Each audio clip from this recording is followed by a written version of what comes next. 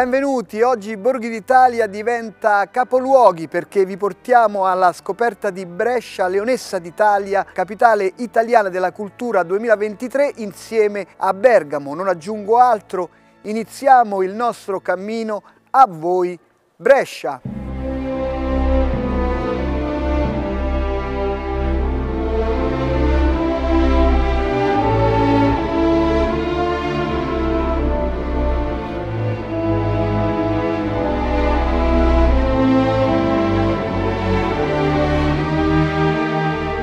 Iniziamo il nostro itinerario all'interno del castello, il nuovo museo del risorgimento. Tra l'altro vedo un buon afflusso in questa mattinata. Noi iniziamo con una domanda semplice. Ci presenti il comune di Brescia? Ma il comune di Brescia e la città di Brescia sono una realtà che sorprende. Brescia è una città che sorprende, quella in cui chi arriva ha delle medie aspettative, in verità è una città di quelle che ti fanno dire wow che sorpresa, perché in ogni angolo, in ogni spazio è capace di colpirti con qualche cosa di unico e speciale. Noi abbiamo 3200 anni di storia e un biglietto da visita che le racconta tutte, attraversando in particolare via musei, arrivando poi nel cuore, nelle piazze della città, tu puoi incontrare dai romani ai longobardi la storia rinascimentale del Medioevo fino ad arrivare all'architettura del Novecento. È una città che attraversandola ti racconta la storia dell'arte dell'intera nazione.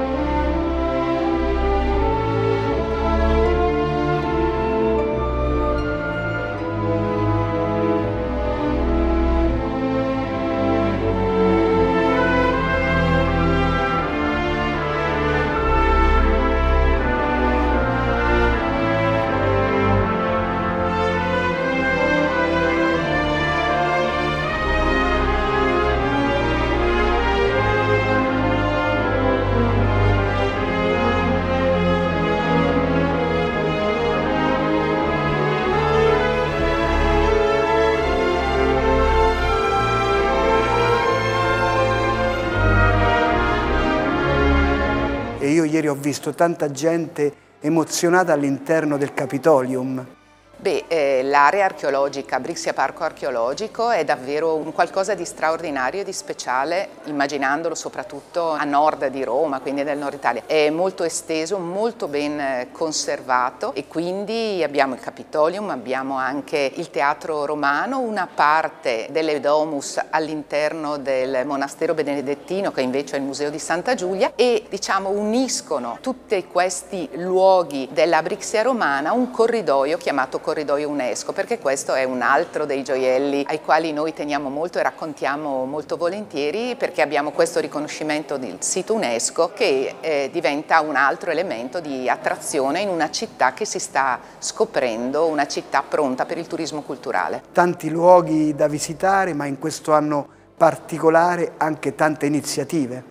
Abbiamo tantissimi luoghi da visitare, tantissimi luoghi da scoprire, quindi da qui l'invito a venire a Brescia e a vivere questa città abbastanza unica nel contesto italiano. L'abbiamo arricchita con tantissimi eventi, noi quest'anno abbiamo questa straordinaria opportunità insieme a Bergamo di essere capitale italiana della cultura. Abbiamo fatto un grande lavoro per costruire un palinsesto di eventi, dai più grandi e spettacolari a quelli anche più piccoli, più semplici, perché abbiamo lavorato con la la coprogettazione, perché abbiamo scelto che ogni bresciano e ogni bergamasco quest'anno sia davvero protagonista. Poi incontreremo il vescovo, ma anche l'itinerario religioso merita attenzione. Beh, noi siamo la città di Papa Paolo VI, quindi questa è una delle ragioni per le quali credo che valga la pena assolutamente guardare con attenzione alla nostra città. Abbiamo però per esempio un progetto molto bello che abbiamo costruito con la diocesi, che si tratta dei custodi della bellezza. Noi sappiamo che gran parte del nostro museo è un museo diffuso di grande valore, sono le chiese che al loro interno hanno opere straordinarie e i custodi della bellezza ci aiutano a tenere aperto queste chiese durante tutto l'arco dell'anno e durante l'arco di tutta la giornata. Spesso chi arrivava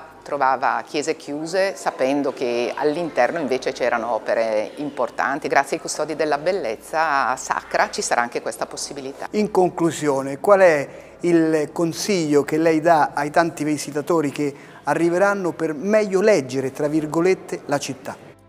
Arrivate a Brescia, lasciate al confine della città e delle mura la macchina, prendete una metropolitana, abbiamo una metropolitana in una città di 200.000 abitanti che sorprende anche questa perché non ce la si aspetta ed è anche un museo sotterraneo di arte contemporanea e poi arrivate nel cuore della città, andate a visitare i musei, le piazze ma lasciatevi trasportare da questa voglia che probabilmente vi travolge e fate lo sforzo di arrivare in cima al castello. Noi abbiamo un colle, il Colle Cidneo nel cuore della città sulla sommità un castello ed è un punto di vista bellissimo per il quale incominciare a osservarci e poi scegliere qual è il puntino giusto nel quale andare a passare la fine della giornata. Grazie e noi continuiamo il nostro itinerario, adesso andiamo ad incontrare il Vescovo di Brescia.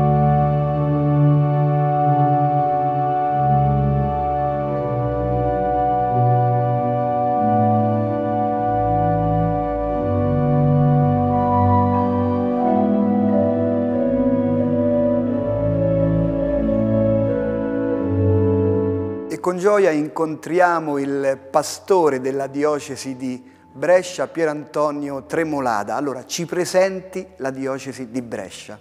Innanzitutto lasciatemi dire è una diocesi che io amo molto, eh, considero veramente un grande dono essere stato eh, eletto, scelto da Papa Francesco come pastore di questa grande comunità di Brescia. Ve la descrivo un po' brevemente. Ecco. Una delle caratteristiche di Brescia, peraltro, è la proporzione tra la città e la diocesi. La città conta 200.000 abitanti, la diocesi arriva a 1.100.000 e questo dà subito l'idea della configurazione, perché siamo su un territorio molto vasto e anche molto vario me piace dire che qui abbiamo tutto tranne il mare. Abbiamo i laghi, abbiamo le montagne, abbiamo le valli, abbiamo la Franciacorta con i suoi vini, abbiamo tutta la bassa, abbiamo la città con il suo interland. Ecco, la diocesi coincide non perfettamente ma in buona parte con la provincia e quindi siamo intorno al milione e centomila abitanti, con 473 parrocchie, con 650 eh, sacerdoti, con un migliaio di persone consacrate. Abbiamo il nostro seminario seminario con il suo istituto teologico e poi eh, per quanto riguarda la vita della Chiesa abbiamo un patrimonio artistico che è meraviglioso, le nostre chiese sono straordinarie, eh, non solo dal punto di vista architettonico ma anche dal punto di vista pittorico perché all'interno delle nostre chiese abbiamo dei capolavori. Questa è un po' la nostra Chiesa. E soprattutto la cattedrale con il Duomo Vecchio, praticamente una tradizione religiosa che continua. Sì, questa è una caratteristica direi abbastanza originale. Qualcuno dice ma voi avete due cattedrali. No, noi abbiamo una cattedrale e abbiamo il Duomo Vecchio. Eh, il Duomo Vecchio che è una chiesa meravigliosa e che è proprio a fianco dell'attuale cattedrale che è molto più recente per quanto riguarda la costruzione. Sono due edifici molto diversi. Il Duomo Vecchio è carico di storia ed è carico di tradizione. E poi abbiamo le Sante Croci. Il Duomo Vecchio custodisce il grande tesoro di Brescia, che sono le Sante Croci. Pensi, si tratta di reliquie autenticate riconosciute della Santa Croce, hanno una storia molto complessa e sono collocate dentro un'urna preziosa per aprire la quale occorrono tre chiavi. Una la tiene il vescovo, una la tiene il sindaco della città e una il presidente della compagnia delle Sante Croci. E giorno della festa delle Sante Croci, tutti e tre questi soggetti si riuniscono, ciascuno con la sua chiave, per aprire e per esporre le reliquie alla venerazione della, della popolazione. E Brescia è anche città mariana?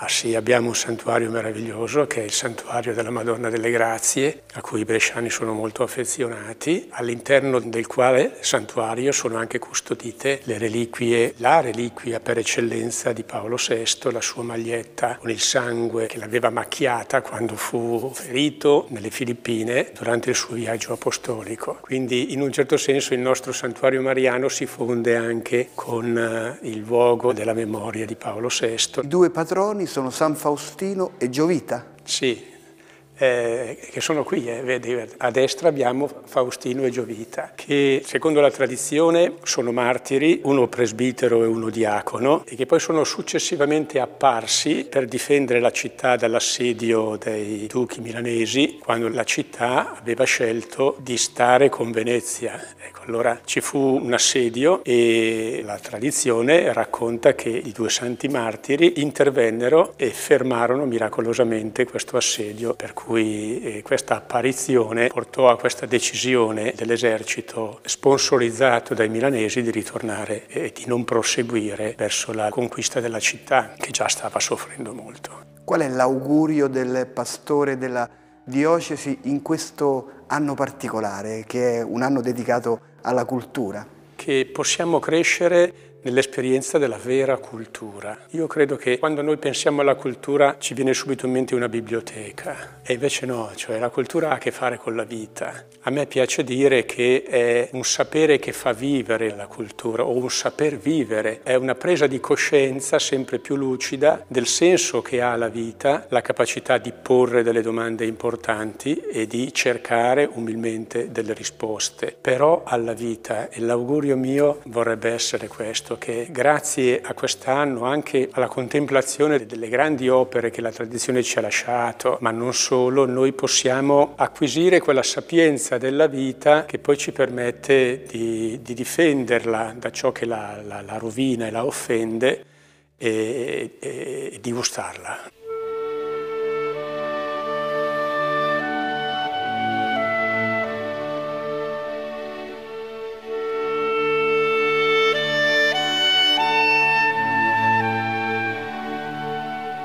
E adesso con il direttore Mauro Salvatore andiamo a visitare il Museo Diocesano. Visitiamo un po' di sale perché è talmente vasto e soprattutto è un museo nel museo perché poi siamo all'interno di una struttura bellissima. Esatto, esatto. Grazie di fatti di questa possibilità di illustrarlo.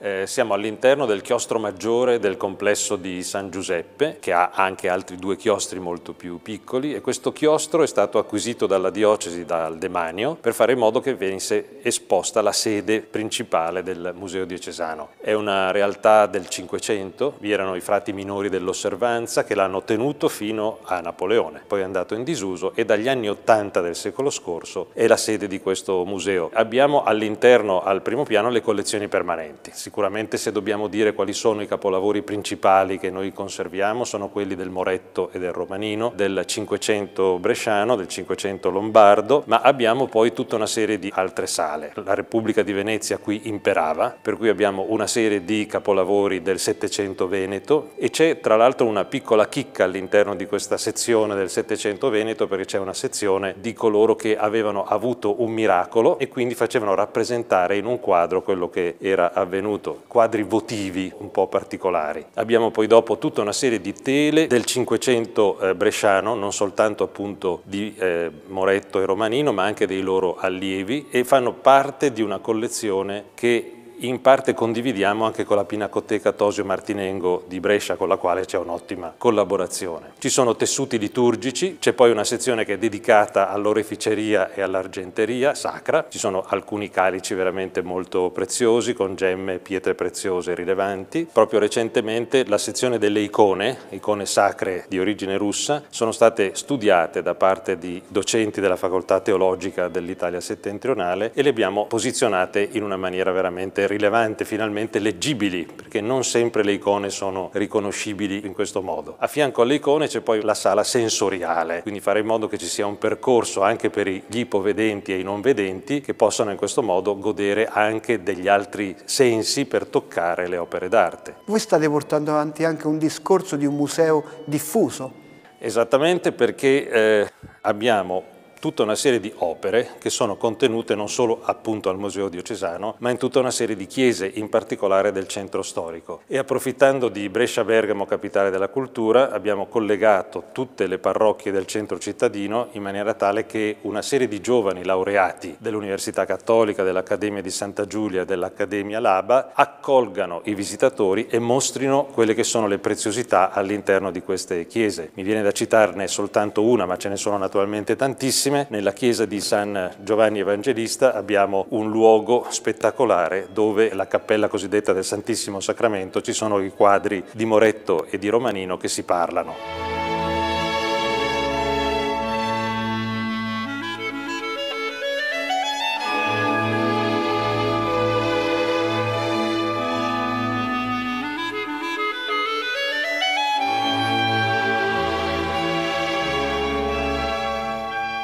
Terra vi sono anche altre opere interessanti, intanto il refettorio dove i frati mangiavano, adesso è diventato un auditorium di 200 posti, interessante vedere appunto sullo sfondo di questo refettorio un affresco dell'ultima cena del 600 e di fronte abbiamo collocato l'ultima cena di Franca Ghitti che è una artista scomparsa 12 anni fa di fama internazionale. Accogliamo poi l'UCAI, l'Unione Cattolica Artisti Italiani, i loro giovani hanno la possibilità di esporre qui le loro opere, le loro mostre. Abbiamo poi sempre al piano terra del chiostro, sotto il porticato, tre opere di questo scultore non vedente, eh, Felice Tagliaferri, una pietà rivelata, una famiglia con bambino fragile e incredibile una pietà ribaltata, dove è Cristo che tiene in braccio la madre, con un volto da bambina, il corpo da donna e i piedi da anziana, quindi a dire che Cristo sostiene e raccoglie tutta l'umanità.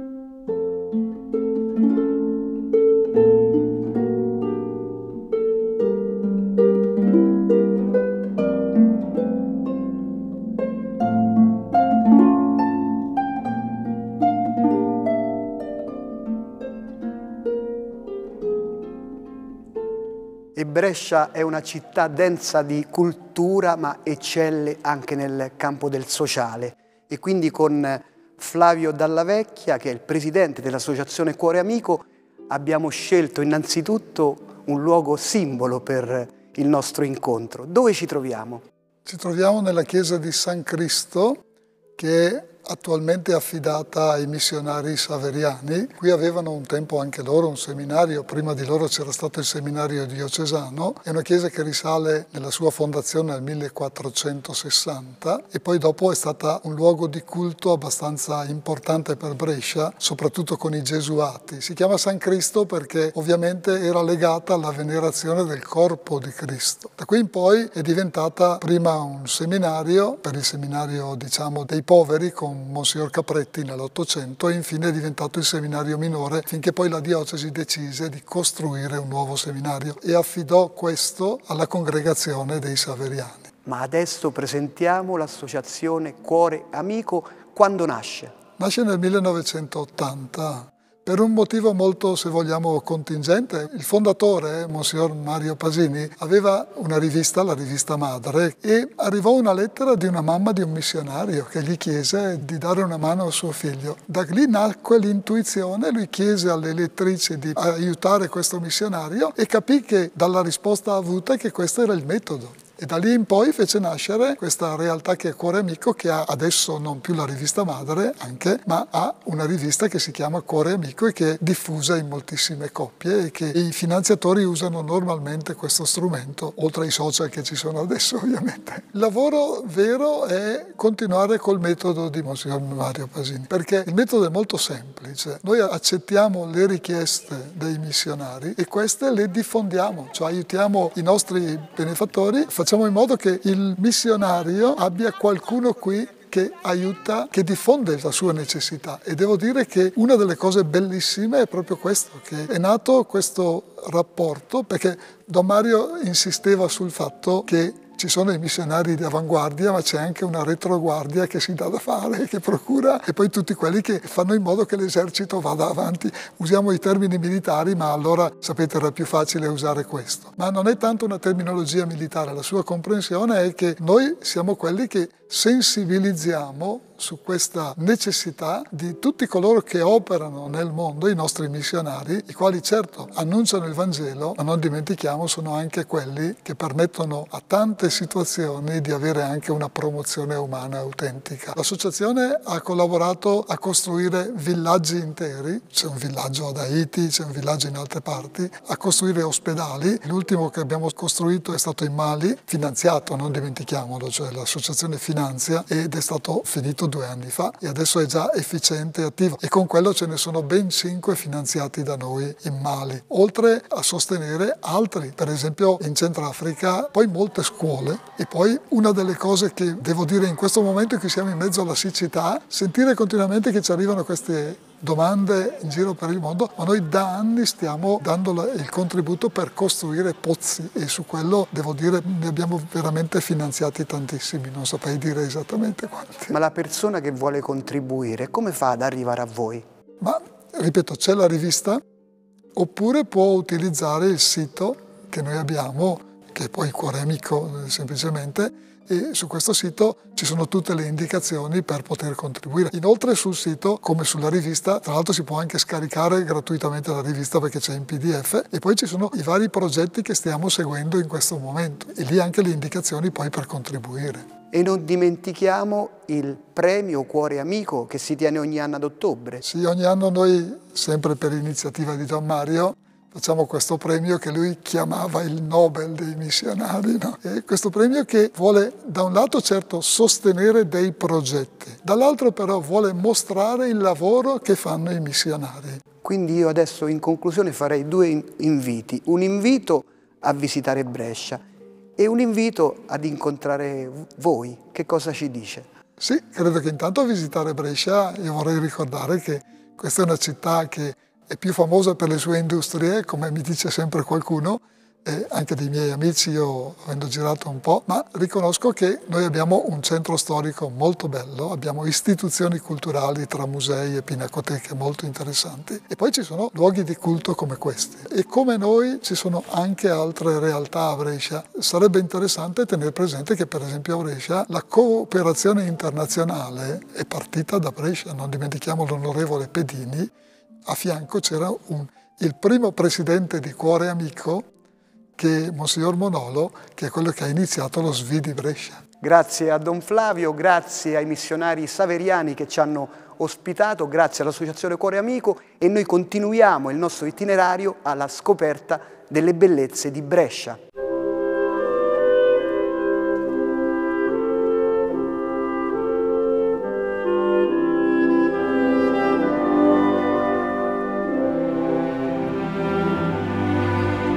All'interno del Museo Santa Giulia incontriamo Francesca Bazzoli che è presidente di Brescia Musei. Abbiamo tante cose da presentare, io inizierei da questo luogo, addirittura 14.000 metri quadrati, quindi veramente tante cose da vedere racchiuse in questo luogo. Sì, è un museo straordinario che forse uno non si aspetta da Brescia.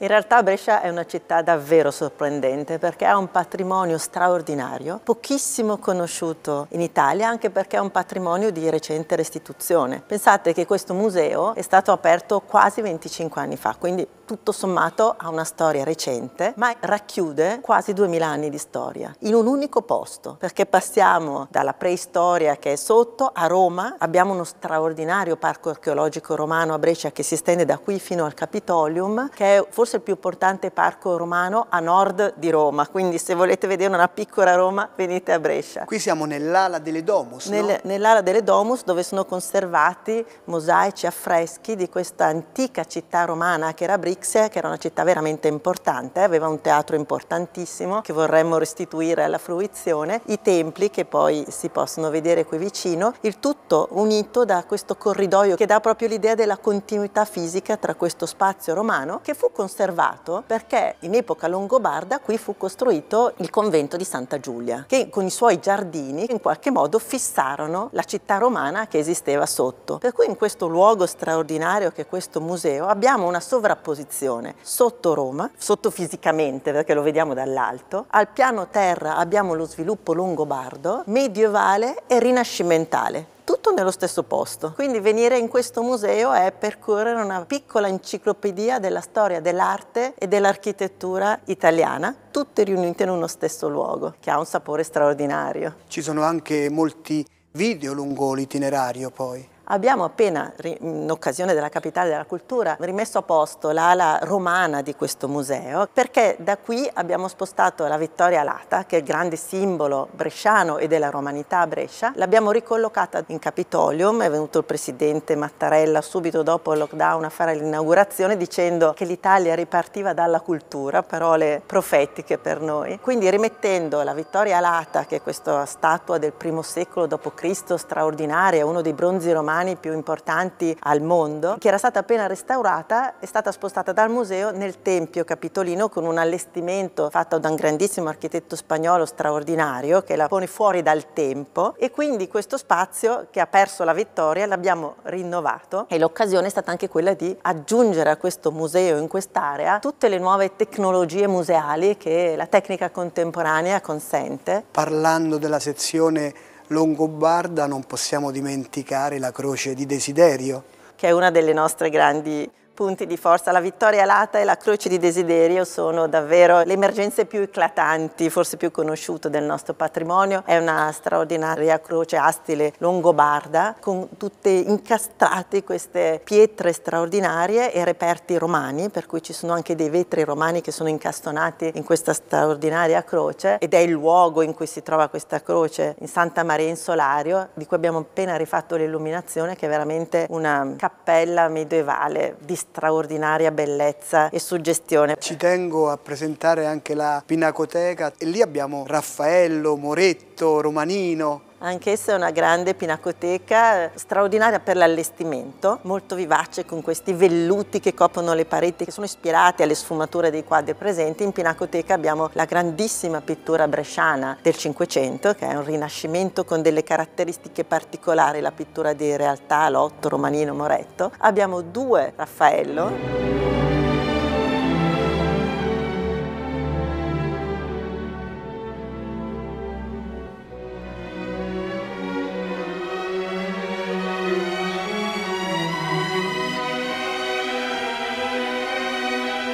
Poi abbiamo la grande pittura che ci accompagna al Settecento a Ceruti, che è uno dei nostri grandi maestri. E fino alla pittura ottocentesca abbiamo Canova, scultore, Aiez, pittore, perché il conte Tosio Martinengo, che ha fatto questa collezione, l'ha donata alla città agli inizi dell'Ottocento, oltre a collezionare i pezzi antichi, collezionava anche i suoi contemporanei, che erano appunto Aiez, Canova e questi. Per cui abbiamo anche un'antesignana di una collezione d'arte moderna che adesso è diventata ottocentesca. L'ultimo spazio che avete inaugurato è il Museo del Risorgimento.